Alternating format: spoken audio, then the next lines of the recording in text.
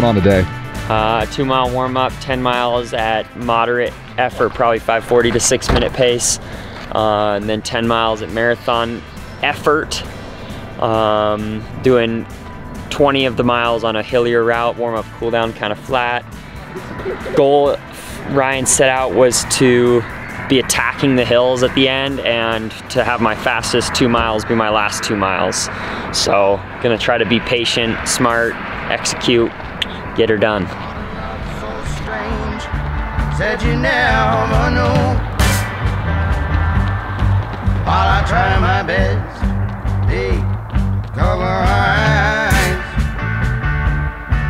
It's a common way to blame and hide the truth.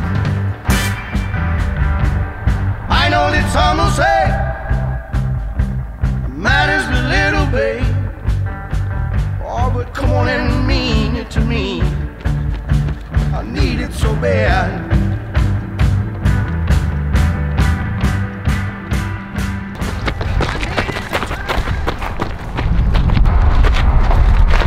It's gonna be tough, man.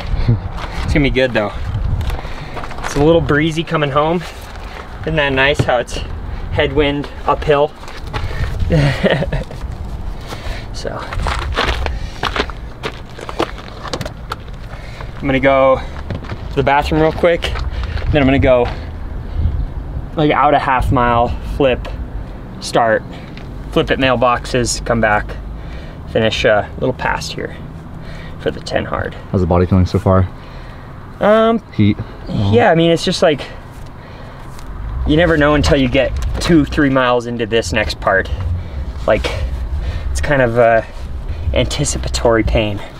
So, it's, I think we'll be okay. It is gonna be hot, but that's good. The training stimulus, so.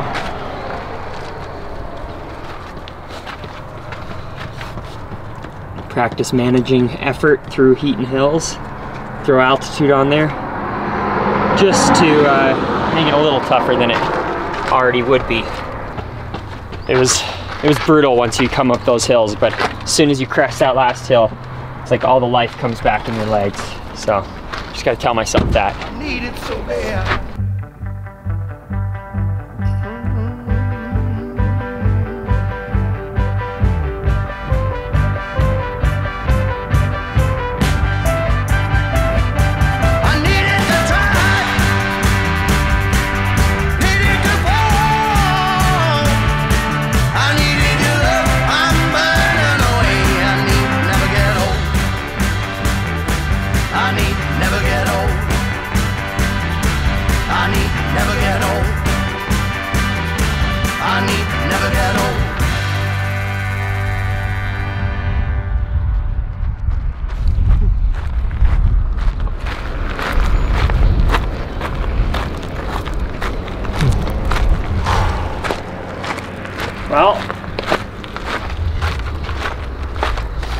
Needless to say, that didn't go as planned. Oh, really? Doesn't always though. Now I got clapped. When did it hit then? Uh, I could tell it was gonna be hard going out. Um, just felt hot, just felt hard. Then flipped into that headwind coming up that hill, mile six to seven, and my heart rate just fucking skyrocketed. Then I took a little break, tried to get it back, told myself, all right, let's see if we can regroup. Got through that big hill, I was like, okay, I'm like way over my line, and it's hot out here, and I'm just sometimes, sometimes you crush workouts, sometimes they crush you, and I think there's something to be learned in days where you like feel that falling apart, and sometimes I like to try to rally and get it through, but today didn't feel like the time to do that. I felt like that was enough for the day, and yeah, it's humbling. It's good. It's a good time to get this. I had probably my best threshold ever out here last week, so I know I'm fit. It's just sometimes, sometimes you just get whooped. Let's check the temp. See what it says. We are right now. Come on. We have service here. It's like 67. 82 right now. What's the UV? High. Does it say? It says seven. That's pretty high. Yeah, man, it's just Especially on asphalt. Like just this is hotter. Should be a beer. Oh, tastes a little better right wish it now. was. You. Thank you. Yeah, well, I think I got 114 or 15 miles on the week. Another big week. Three workouts this week. Just trying to accumulate that strength. No down weeks yet. Down week when we taper. We'll, we'll taper. This is the get through the thick of it. Try to adapt on the fly. Got 20 miles tomorrow. No. 12 and 8. Easy day tomorrow. 12 and 8. No. Yeah, so first off, last last week was my biggest week ever. So that could be a piece of it. 128 on the week, uh, two 25 mile days, one including Snowbowl. That was last Sunday, so That was a big one. a week ago. And then I came off that Tuesday. I did two by three mile with Bia at like 450 pace. Oh, like 7,300 feet. Yeah, on a hilly loop as well. And then Thursday, I did uh, 20 by 200 on the track with 200 jog, and then a PM up tempo double at like 530s ish. And then, uh, yeah, I rounded out this week here today with marathon simulation and 22 on the day, 115 on the week. Yeah, so next week, hopefully, regroup, get another big, big threshold effort in, and get the momentum back on my side.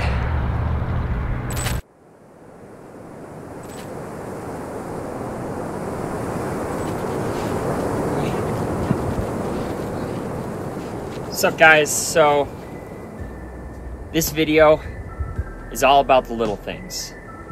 In a race like the Olympics, when I'm a 208 guy and I'm gonna attempt to compete against 202, 203, 204 marathoners, people with minutes better personal bests than I. I think that the one way to gain an advantage over people that are just flat out fitter than me is to prepare for the elements and the course better than they can. Uh, so there's a few things I've done the past two summers getting ready for the World Championships uh, that I am implementing once again for the Paris Olympic Games, and uh, it's pretty simple. So, on all my easy recovery runs, I like to overdress in dark colors, wearing black, long sleeves, tights, jackets, whatever it is, to just create like a intense environment for my body to create a heat adaptation. Um, I find this to be uh, helpful for when we get to hot, humid conditions. I don't feel, you know, run down by the heat. Last year in Budapest, it was the hottest marathon I've ever run by about 15, 20 degrees, and I felt like I was able to execute really well there. So obviously, uh, it's worked for me in the past, and I am extremely proud of my ability to dial in really small details like this. Uh, I also implement sauna training more so towards the tail end as a peaking effect. This is a protocol that I've done. I usually do for actually all my marathons because it's just good for general fitness, but it's a special emphasis on marathons that I've run in the summer. So Eugene last year, Budapest, well, Eugene two years ago, Budapest last year, and now with Paris coming up you never know what you're gonna get. Uh, it could be good temps, but usually it's on the warmer end. So uh, a little heat acclimatization through sauna training is a regular and I think most uh, distance runners routine getting ready for summer races. Um, so here we are just doing probably 20 to 30 minutes in the sauna. This is something I'd like to add more towards my peaking phase in training. So we're 33 days out from Paris. Uh, I'll probably do 10 to 12 sessions from here on in. uh, so every other, every third day kind of thing. Um, increase, I don't know all the science stuff. I'm not a scientist, I just know that people tell me it's really good for you. Dr. Huberman has podcasts on this stuff if you're into you know the, the science of, why we do this. But it's basically just creating adaptation in the body um, and making you a little bit better in the in the tough elements and just fitter overall. It's very really good for your overall health. So um, something I, I'll regularly do to make a little bit of difference. And that's just the heat side. Aside from that one of the most important details of this specific Olympics is the course. The course is extremely hilly. 1400 feet of vert. That's twice the elevation of the boston marathon which is a marathon known for its hills. And i uh, i think it's really really important to prepare your legs for the pounding that they're going to take on a course like that. Um, I personally have been making it a point to do almost all my recovery runs on moderately hilly routes, doing all my key sessions, long runs on hilly routes, and this has come at a cost, right? So I'm not running as fast of paces on these routes. Uh, sometimes I feel run down or beat up. Uh, it's created a different variable for recovery for me, but in the long game, hopefully it prepares my legs for the muscle demand that a course like Paris will have on them.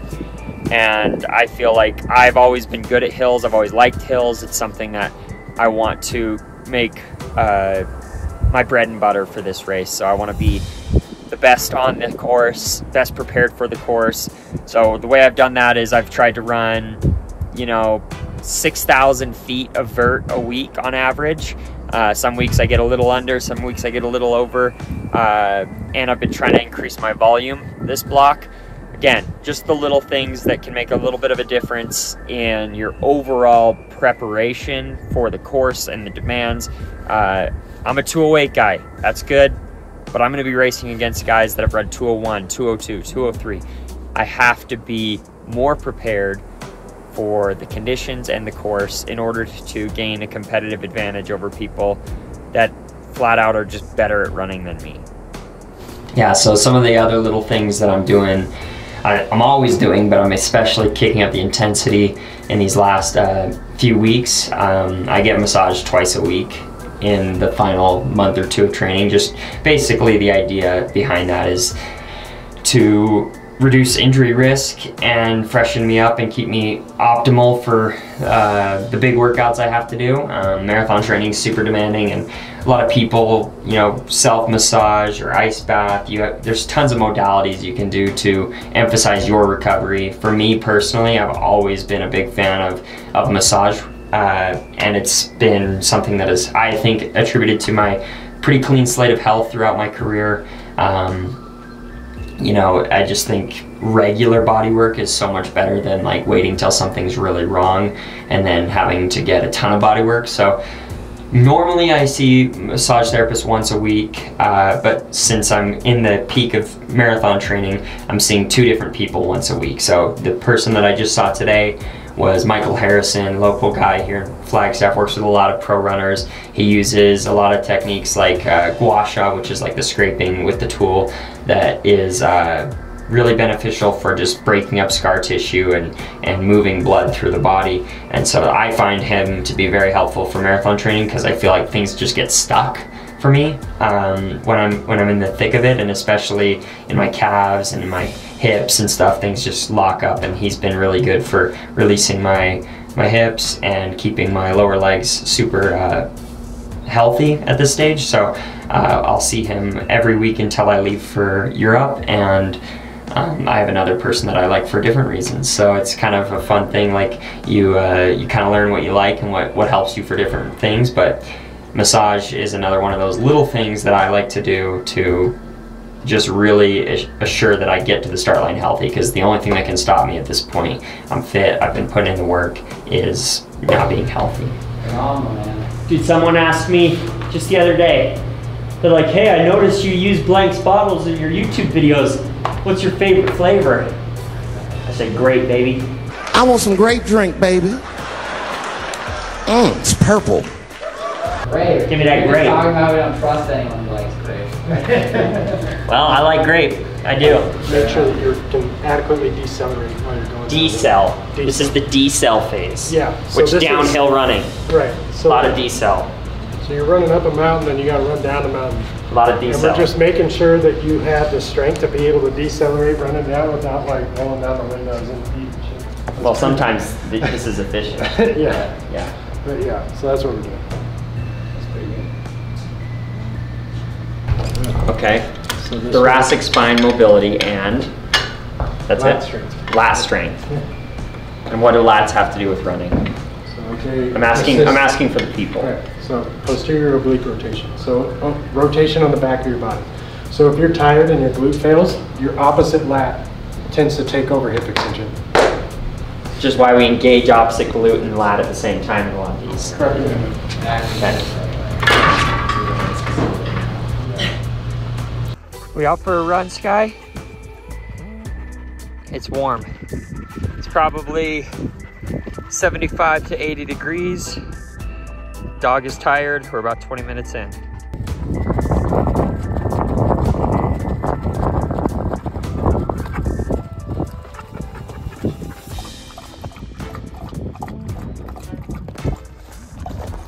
All right, so we just did about 10K run, 45 minutes ish. It's warm, we're overdressed, get our fluids back. This is Sky. Sky's my number one running partner. We've done 517 miles together this year, so she's been on about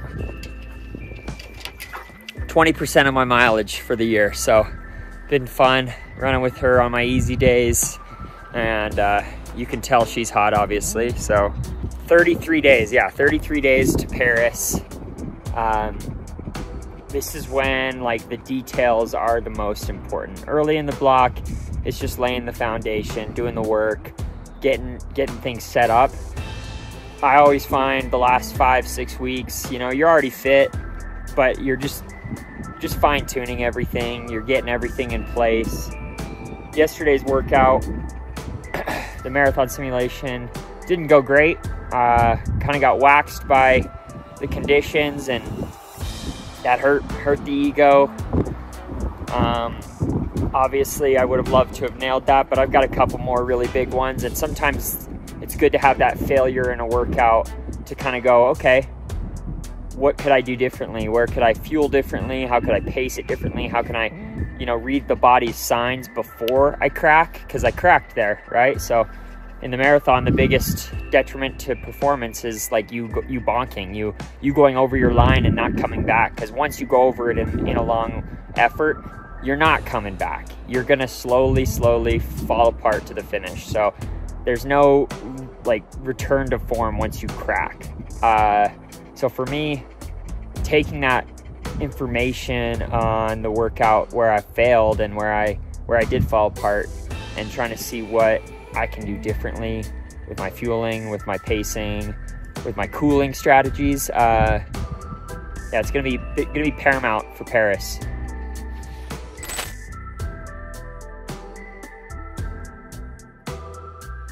Yeah, and running, and the reason why I'm doing this one today is because, you know, I can run up and then I can flip and kind of bomb down without being too at risk because the softer surface I find a little easier, but obviously just as important as the up is the down. So practicing trashing the legs, running fast downhill, been fun. I wouldn't want to do too much of that on Snowbowl for a number of reasons. The shoulder's crap, but this one's fun. I did this, I don't know, two weeks ago, three weeks ago, and I did uh, 20 minutes up, made it about three miles, and then I bombed down in like 15 minutes. So it was like five minute pace coming down, which is like the first mile here is like pretty moderate, and then it gets pretty steep after like 2K, and then it's just all the way up, and it's some switchbacks, and it's fun. Get a little bit of shade, which is nice on a hot day like this. The first mile is pretty exposed, but once you get in there, it gets a little better. So we'll see how far I go. I kind of want to go to the top, but I have to kind of see how I feel and like read it, uh, which would take me probably thir- like well got- I hold the the segment for this 31 minutes and change. So uh, if I'm feeling really good, I might just go for the segment. But it's hot. It's my second workout of the day. I was at the track this morning doing 400s. So it's really just reading the body. But at least I'll do 25 minutes up. That's the minimum. So I might get pretty close and then flip, which will feel like a bailout. But the point is just sub threshold work, uphill and down. So first mile is always tough.